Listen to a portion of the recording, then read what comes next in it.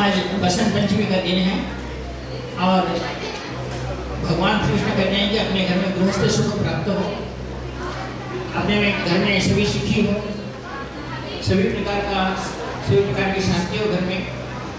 तो जैसे सरस्वती, माता सरस्वती की, शारदा की, उसी तरह नील सरस्वती नाम की देवता भी है, जो कृष्ण के कृष्ण के शरीर से उत्पन्न हुई और उन्होंने एक ऐसा वरदान दिया कि कृष्ण तुम जितने सुखी थे अपने पत्नियों के साथ अपने द्वारका में अपने मथुरा में जो नील सरस्वती की साधना करता है जो नील सरस्वती के आय मंत्र करता है उसको उसके घर में सुख शांति रहेगी एक बात की बात है कि आप अपने पास देखते हैं ये कुलकर्णी लोग देश पाटनी लोग और ज़्यादा करके कर्णालू बोलते हैं। जिन्होंने ग्राम सभाओं को ग्राम का आधिपत्य किया है यानी ग्राम के बड़े बनकर विचरण किए हैं। ये सब कणवशाख व्यक्त होते हैं और ये लोग याज्ञवल्क स्तुति के अनुसार याज्ञवल्क ऋषि के ऋषि को आरा, आराध्य करने वाले होते हैं। इनका कणवशाखा होता है और याज्ञवल्क को। तो हुआ क्या था कि याज्ञवल्क महर्षि अपने गुरु के पास विद्याभ्यास करते थे। विद्याभ्यास करते समय एक उस याज्ञवल्क ऋषि के गुरु के पास एक राजा रहता था, उसके घर में संतान नहीं हो रही थी। कितना करने पर भी संतान नहीं हो रही थी। तो गुरु को जाकर राजा पूछता है कि मेरे घर में संतान होने के लिए क्या करना है? तो गुरु कहते हैं कि रोज मेरा शिष्य आकर नील सरस्वती का सूक्त, सरस्वती सूक्त का पाठ मेरे घर में कर दे तुम्हें आशीर्वाद दे के जाएगा। निश्चित रूप से तुम्हारे घर में संतान होगी। रोज एक शिष्य आएगा। ऐसा उनका गुरु ने कहा। तो याज्ञवल्क के शिष्य रोज करके एक जाते थे और उनको नील सरस्वती का पाठ करके सरस्वती को अभिषेक करने के बाद उनको प्रसाद के रूप में अक्षर दे दे के, आशीर्वाद दे दे के आते थे ये रोज का हुआ तो ये ऐसा करना था, पूरा छह महीने तक करना था। तो एक दिन बारी में आई याज्ञवल्क महर्षि। की याज्ञवल्क महर्षि जिस दिन जाना था, उस दिन याज्ञवल्क महर्षि राजा के घर गए। तो महर्षि थे। उनको अभिमान था। उन्होंने कहा कि यहाँ राजा जो है, जिसको संतान होनी है, राजा और रानी मेरे सामने आए, मैं उन्हें आशीर्वाद देता हूँ। तो राजा कहीं खा पी कर सो गया था और राजा कहा, अरे, रोज तुम्हारे शिष्य आ रहे हैं, तुम्हारे गुरु भाई रोज अक्षर डाल के जाते हैं, चलो जाओ, तुम भी करो, जाओ। याज्ञवल का माथा ठनका, वो एक योग्य तपस्वी थी। उनकी श्रेष्ठता उनको पता थी। उन्होंने सैनिकों को बोलकर कहा, मैं याज्ञवल्क महर्षि फलाने गुरु का शिष्य, मैं यहाँ आया हूँ और आपको आशीर्वाद देने के लिए आया हूँ, आप आशीर्वाद लेकर जाओ। तो राजा और रानी दोनों भी मदमस्त थे, उन्होंने कहा, अरे तुम रोज आज तुम्हारे शिष्य आ रहे तुम्हारे गुरु भाई, तुम भी वहाँ डालकर चले जाओ यार अक्षर जा, क्या डालना उनको गुस्सा आया। और उन्होंने कहा कि आप मुझे जाने के लिए कह रहे हैं, मैं तो चले जाऊँगा, लेकिन आगे का कार्य आप देखो। उन्होंने अक्षर ली और ज़्यादा राजा ने, राजा और रानी यहाँ सोते थे, वहाँ उस अक्षर को डाल देकर, मंत्र से अक्षर को डाल देकर चले गए। चले गए तो राजा रानी रात में जब सोने के लिए पलंग पर आते हैं तो अक्षर में से चावल उठ के आए। चावल उठ के आए, उसके ऊपर है चावल निकलने लगे। ये देखकर राजा रानी को क्या हुआ कि ये कैसा हुआ? तो सैनिकों ने कहा कि सुबह जो ऋषि आए थे, उस ऋषि ने केवल उस युक्त को बोलकर अक्षर डाल के गए और वो ये उग गए। तो बोले जो ज़मीन नहीं है पलंग के ऊपर अक्षर को उगा सकता है तो, तो हमें संतान देने में तो नंबर वन होगा। भाग के राजा रानी गुरु के पास गए और कहने लगे कि हे गुरु कल जो तुमने शिष्य भेजा था वो तो चमत्कारी था। बोले क्या हुआ? उसने आपने सरस्वती सुख जो कहा वो कहते हुए केवल पलंग पे अक्षर डाल दिया पलंग पर ही पूरे चावल उठ के आ गए। वो तो महान है जो पलंग पे अक्षर उगा सकता है वो तो हमारे को संतान दे ही सकता है। आप एक बात करो कि उन्हें बुला लो यहाँ। और हम उनसे फिर अक्षर डाल लेना चाहते हैं। तो गुरु ने कहा, उसमें क्या बात है? मेरे शिष्य, मेरा शिष्य मैं बुलाता हूँ। उन्होंने याज्ञवल्क को बुला भेजा याज्ञवल्क आए, बोले, क्या है गुरु जी, कहो? तो बोले, ये राजा रानी है, तुमने कल अक्षर डाले थे, उसमें चावल उग गया है? तो उसमें विशेष क्या बात है? मैं आपका शिष्य हूँ। इतना नहीं कर सकता तो क्या बात है? मैं इनको संतान देने के लिए, आपने तो कहा था, संतान देने के लिए जाओ। और मैं गया था।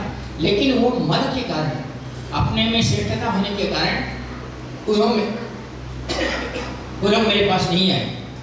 इसलिए मैंने वो अक्षर पलंग पर डाल दी और मैंने चला आया और मैंने क्या है बता दिया। हाँ वो तो ठीक किया, लेकिन अब मैं कह रहा हूँ कि अब उनको वही सूत्र से अक्षर डालो। मैं कहता मैं नहीं डालता प्रभु, ने कहा, जहाँ अपना अपमान हो, जहाँ गुरु को शिष्य की मान, मान्यता नहीं हो, गुरु की मान्यता नहीं हो, मैं उन्हें नहीं देता। उन्होंने कहा, तुम जो कहोगे देने के लिए तैयार है सौ गौवे देंगे, तुम्हारी को तुम्हारे से माफ़ी मांगेंगे। बोले, वो सब होने वाला नहीं।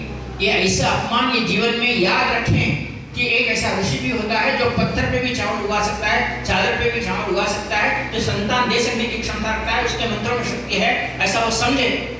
और जब तक नहीं समझेंगे ऐसा नहीं होगा, उन्होंने कहा एक चांद्रायण व्रत करे एक वर्ष तक। पानी पी कर रहे, उस दिन अगर मैं सोचूं तो मैं देता हूँ। उनको आया गुस्सा। बोले, मैं गुरु बोल रहा हूँ तू शिष्य नहीं सुनता क्या उनको दे दे? मैं कह रहा हूँ, बोले, जहाँ मेरे गुरु को, गुरु का मान नहीं है, जहाँ मंत्र का मान नहीं है, आपको दिया हुआ मंत्र का मान नहीं है, जहाँ उसको, उसका, उसकी श्रेष्ठता नहीं है, मैं आपके कहने पर भी नहीं नहीं दूँगा। केवल मैं ये चाहता हूँ कि वो एक स्पर्श तक चांद्रायण व्रत करे, उसके बाद मैं उनको ये देने के लिए तैयार अब राजा रोज खाने वाला चांद्रायण व्रत में क्या होता है? आज एक घास खा लिए, कल दो, तीन, ऐसा जैसा पूर्णिमा बढ़ती है, पूर्णिमा तक पंद्रह घास खाए फिर पूर्णिमा से नीचे एक एक करके एक ऐसा एक साल तक। राजा बिना खाए कैसा रह सकता है, रानी? बोले, हमारे से नहीं हो सकता। तो बोले, मेरे से भी नहीं हो सकता। मैंने जो कहा, एक दो कह दिया कह दिया। गुरु के बहुत कहने पर भी अब राजा निराश हो गए, बोले, प्रभु, आपकी बात भी नहीं मान रहा है, यार, मैं आप कुछ तो करो। उन्होंने कहा, मैं कुछ करने का नहीं है। मैंने आपको उपाय बताया। आप अगर खाना करते हो तो मैं निश्चित रूप से आपको आकर देता हूँ और नहीं देता हूँ तो मैं चले जाता हूँ। गुरु जी भी बहुत समझाने लगे कि भाई, तू कर दे, जान देना गलती हो गई उनसे, तू कर दे। याज्ञवल्क्य ने कहा, गलती के लिए भी प्रायश्चित बोल रहा हूँ। आप भी गलती करने पर प्रायश्चित देते हैं ना तो मैं भी प्रायश्चित बोल रहा हूँ। प्रायश्चित करके आ जाए, मैं ज़रूर डालूँगा। राजा रानी खिन्न हो गए। अब गुरु को लगा कि एक शिष्य मेरा, मेरी ही बात नहीं सुन रहा है, मेरे पास रहकर। अब इसको क्या करें? जब राजा राजा रानी नाराज़ होकर रात तक रहे और चले गए घर को क्योंकि दिन ढलने वाला था, फिर दूसरे दिन दूसरा ऋषि आने वाला है, डालने के लिए उनके पास शक्ति नहीं है। तो दिन ढलते हुए गुरु ने कहा कि तू नहीं मानेगा नहीं मानेगा, नहीं मानूँगा, नहीं, मैं आपसे एक बात कहता हूँ।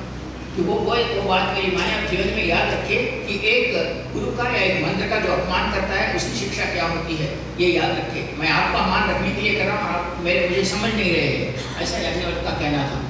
मैं तुम्हारा मान रखने के लिए ये बात कह रहा हूँ, और आप मेरी बात नहीं मान रहे मैं मंत्र की श्रेष्ठता बता रहा हूँ, आप नहीं मान रहे। आखिर में गुरु को गुस्सा आया, और गुरु ने कहा कि, हे याज्ञवल्क तूने गुरु के बातों को भी नहीं माना। मैंने गुरु के बातों को तो मैंने माना। गुरु ने कहा कि, राजा के पास जाओ, और तुम अक्षर डाल जाओ मैं जाके आपकी बात माना। लेकिन मैं उस अपमान को सहन नहीं कर सका जो मेरे गुरु का अपमान है, जो मंत्र का अपमान है, मैं नहीं सहन कर, नहीं सहन कर सका। इसलिए मैं कहता हूँ कि मैं नहीं करता हूँ। आखिर बात आई, गई हुई, और गुरु ने उस यज्ञवल्क महर्षि को श्राप दे दिया। मैं तुझे श्राप देता हूँ कि तूने आज तक जितनी विद्या मेरे पास पड़ी है, वह सब तू भूल जाए। या तू मेरी दी हुई विद्या मुझे दे दे। ऐसा उन्होंने कहा। मैं गुरु हूँ तो मेरी बात नहीं मानता। तो मेरी विद्या मुझे प्रदान कर दे। ऐसा उन्होंने कहा। तो यज्ञवल्क्य ने कहा, ये अगर गुरु आज्ञा है, इस गुरु इस गुरु आज्ञा को मैं ज़रूर मानता हूँ। ये लो मैं तुम्हारी विद्या दे रहा दे रहा हूँ। संकल्प करके यज्ञवल्क्य ने पानी छोड़ दिया।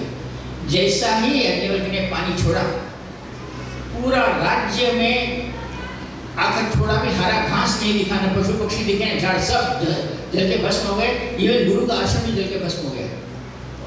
कहता है मैं आपको प्रणाम करता हूँ मैं यहाँ से चले जाता हूँ। ऐसा शिष्य था यानी बार में बाहर आया और उसमें सोच में पड़ गया कि अपने गुरु ने तो साफ़ दे दिया है कि, कि ये सब विद्या भूल जाए तो कैसा करें। अब वो एक दिन मट्टी खेलता से बैठ रहा रात भर सुबह सूरज उग रहा था। तूने सूरज के तरफ़ देखा सूरज के देख देखकर के प्रभु, प्राकृतिक तो आप देवता हैं। मैं आपके चरणों में प्रणाम करता हूँ। लेकिन गुरु से शाप प्राप्त करके सब भूल गया इसका प्रायश्चित कुछ हो तो मुझे बताइए। उस समय भगवान हनुमान जी सूर्य नारायण उनके गुरु हैं, उनके पास पूर्व में एक पाँव और पश्चिम में एक पाँव रखकर सूर्य जैसा ही रथ पर जाते थे, उनसे विद्या सीख रहे थे। सूर्य नारायण जी के पास हनुमान जी विद्या सीख रहे थे।